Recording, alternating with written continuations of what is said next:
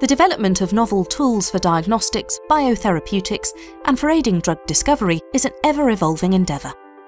Affimers, artificial binding proteins that are isolated using phage display and producible without the use of animals, are able to bind to target proteins with high affinity and specificity, and offer a novel way to strengthen our understanding of biological processes.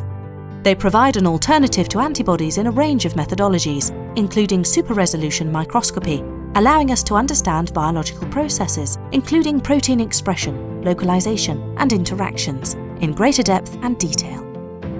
Our team at the University of Leeds has used them to target RAS, the most commonly mutated protein in human cancers, but one that lacks broad-acting pharmacological inhibitors. Two RAS-binding affimers, K3 and K6, can inhibit RAS function.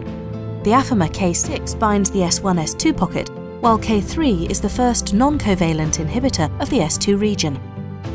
The affimer reagents can be used in a range of techniques, such as competitive NanoBRET, to aid the discovery of small molecule inhibitors, which could be used to treat cancer patients in the long term. We're excited by the potential of affimers across a broad spectrum of proteins, including those previously considered hard to drug.